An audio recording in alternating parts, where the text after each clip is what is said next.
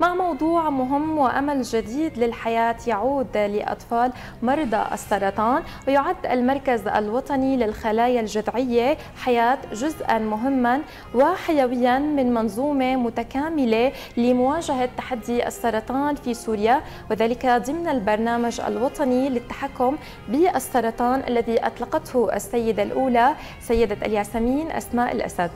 طبعا هو إنجاز جدا مهم هايدي وهو آه، يعني بخص العلاجات آه، هذا النوع من العلاجات الأطفال.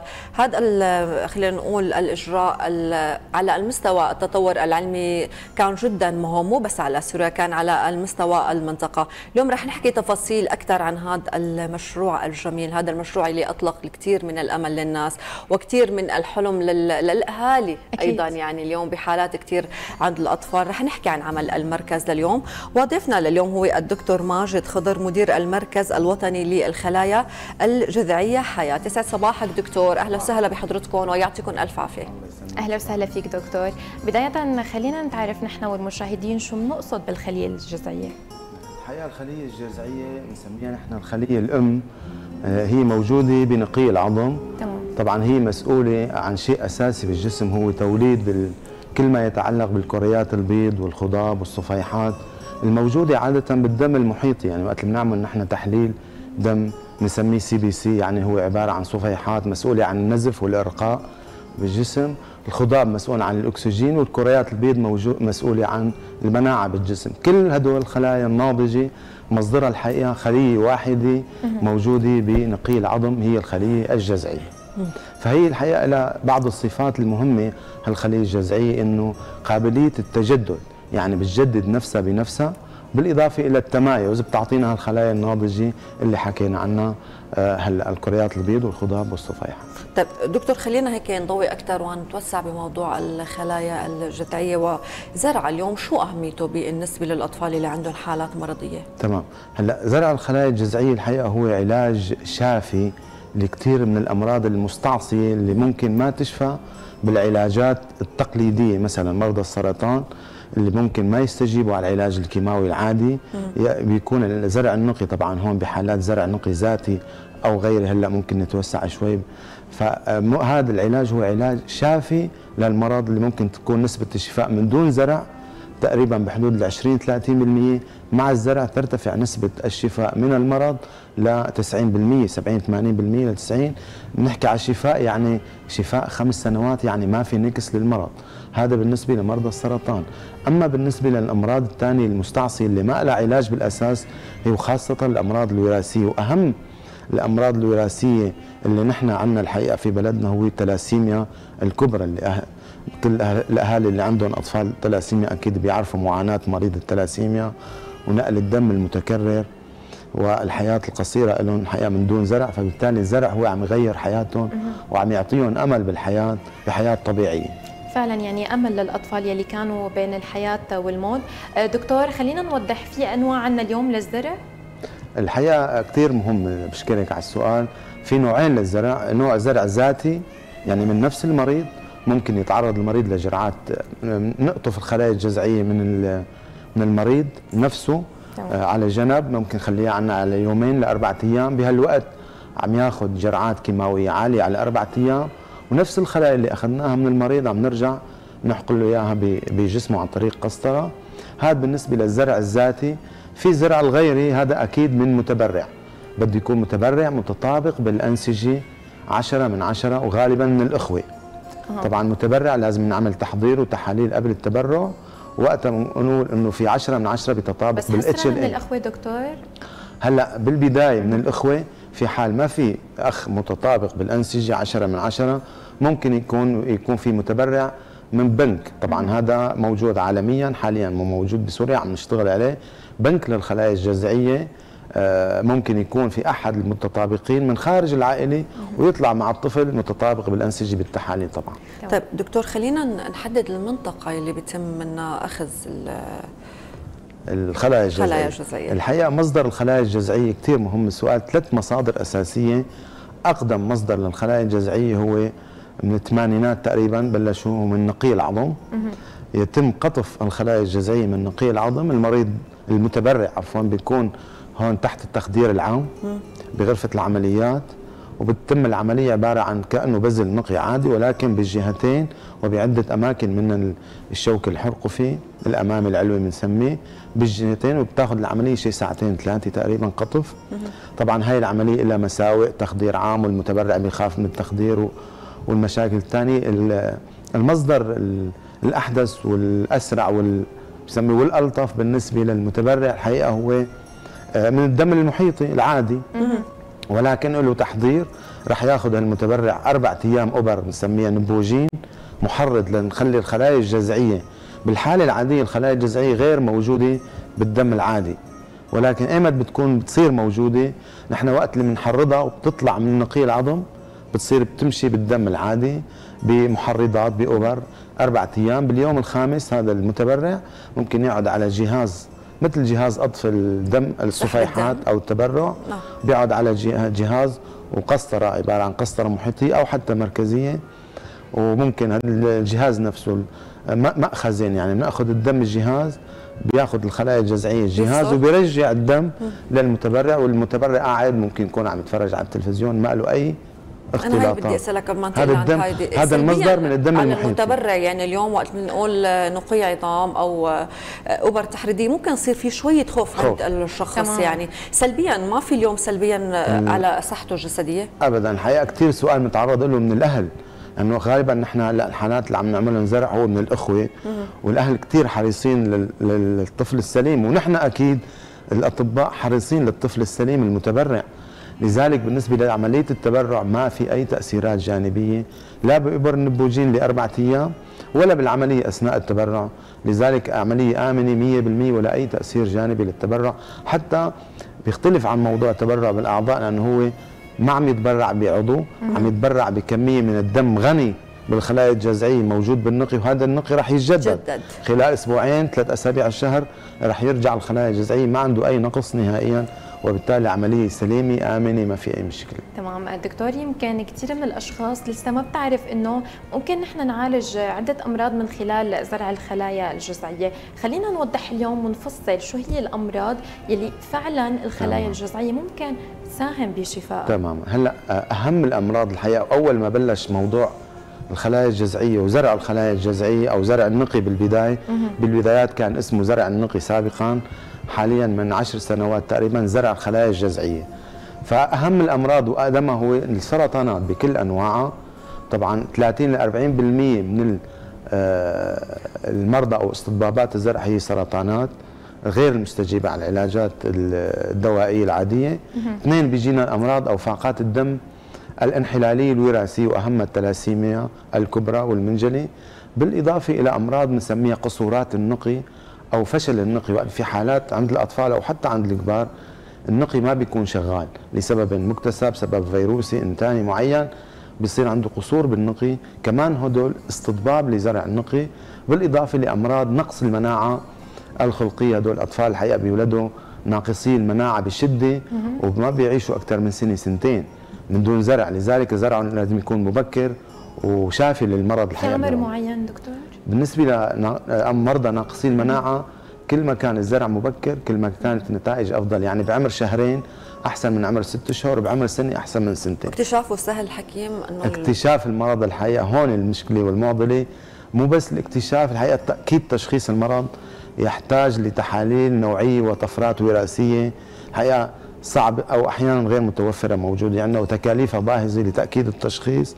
وبالتالي التحضير لإجراء الزرع. هون الفكرة يعني دائما الأهل يعني بجوز التأخير بأي إجراء عم يكون أكيد. عكسي على الطفل، دكتور صح. خلينا هيك ننتقل معك بالخيال لغرفة العمليات ونكون طبعا. معك هيك اليوم ضمن تفاصيل من حضرتك عن عملية الزرع، كيف اليوم عم تتم؟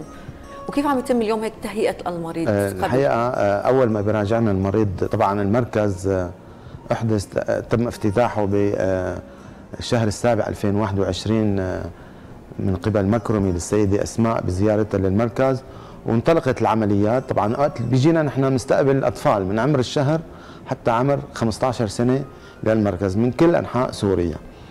آه، فوقت بيجي المريض وبنحط استطباب إنه هذا المريض يحتاج لزرع نقي سواء زرع خلايا جذعية ذاتي أو غيري يتم تحضيره الحقيقة بعيادة الزرع إجراء التحاليل المناسبة الفحوصات الصور الشعاعية تحديد الاستطباب غيري أو ذاتي في حال كان غيري الحقيقة رح نبحث بالعائلة بتحاليل نوعية ومكلفة وباهظه الحقيقة تحاليل اتش ال اي بنسميها. هي تحاليل تطابق الانسجه دي ان اي بالأساس يعني. ونحدد إذا في تطابق بين إخواته إنه ممكن يكون 10 من 10 طبعا هون كل ما كان عدد الأخوة أكثر كل ما كنا لقينا فرصة أكبر لنلاقي المتطابق كل ما كانوا الأب والأم في قرابة آه، كمان ممكن نلاقي أكثر فرصة أكثر وهي الشغلة الوحيدة يمكن حسنة وحيدة حسنة بزواج الأقارب. إنه نلاقي متطابق. هون حضرنا المريض آه وعرفنا المتبرع آه بيجي الأهل وبنحضر المريض بينام بغرفة الزرع اللي هي غرفة خاصة غرف خاصة عزل تامه عقامة 100% بطريقة الهبة فلتر لأنه مناعة المريض بخلال فترة القبول صفر.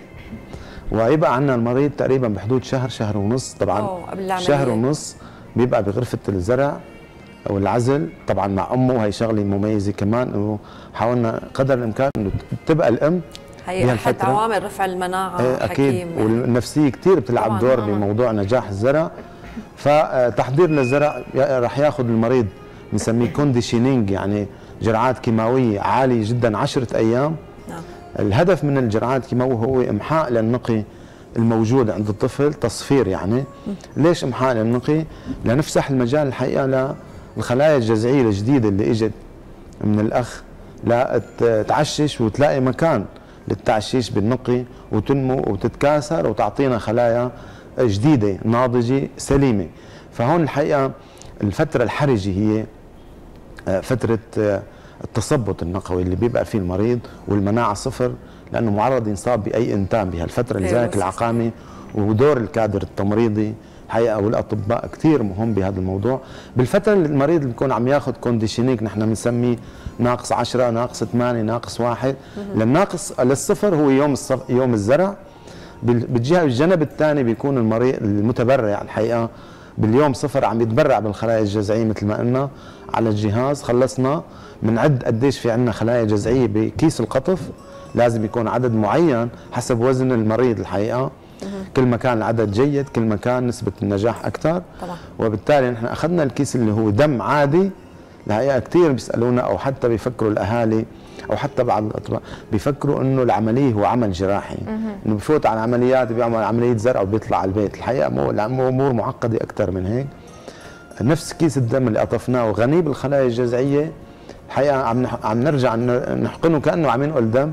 ولكن عبر قسطره وريد مركزي طبعا في لها مراقبات معينة خلال فترة النقل اللي بتستمر تقريبا الزرع أو تسريب الخلايا الجذعية بحدود 2 لثلاث ساعات تقريبا.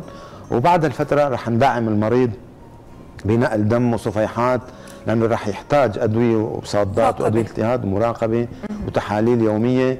ومراقبة أكثر من العناية المشددة الحقيقة أكثر من مرحلة ما قبل الزرع. أكيد أكثر ما قبل الزرع. تمام. طيب خلينا نعطي أمل للأهالي اللي عم يتابعونا اليوم. آه وعندهم أطفال مصابين ببعض الأمراض. خلينا نوضح شو عدد الحالات أو الأمراض يلي تم علاجها لحتى هلأ بالمركز. آه الحقيقة بالنسبة لعمليات الزرع أنا كثير بشجع موضوع الزرع وقت بيجينا الأهل. الحقيقة كثير مهم نضوي على شغلة. بيجي الأهل والمريض وال... ما بيعرفوا شو هذا الزرع. تمام. عندهم ره يعني خوف موضوع شيء جديد. خوف من الزرع خوف من عملية الزرع من القبول. أنا بحب طمنهم العملية ما أنا العملية معقدة بسيطة. والدليل إنه أكيد رح وقت اللي بيجوا عم نحضرهم قبل الزرع رح يلتقوا بالمركز بالأهالي. بيوم العيادة الزرع رح يلتقوا بالأهالي اللي تم لهم زرع.